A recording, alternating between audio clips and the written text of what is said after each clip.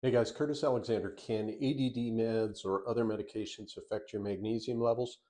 Turns out it can. We'll talk about that in this video, what's going on and what you can do about it. So there's there's certain medications, we're talking ADD meds, we're talking Zoloft, we're talking Wellbutrin, that when you take them, they act on what's called the sympathetic nervous system in your body. So basically your fight or flight, they'll increase adrenaline is one of their actions. Now, when that happens, when you activate that fight or flight, you send out adrenaline, you're going to send out stress hormones and increase stress hormones like cortisol. Okay.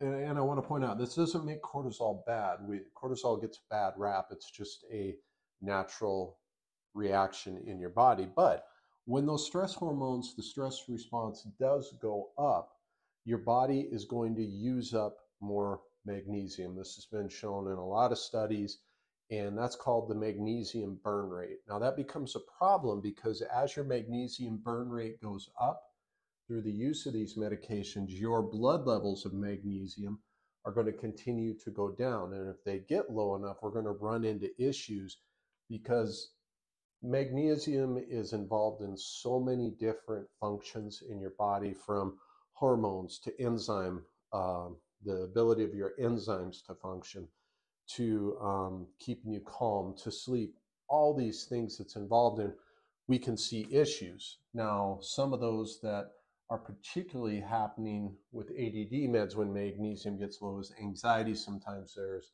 signs of depression. So it is very important. There's a definite relationship between low magnesium levels and some of these medications. So if you sit down and talk to your doctor and you decide that, hey, I, I have to be on these medications, then I would encourage you to discuss supplementing with magnesium. My preferred form is magnesium glycinate.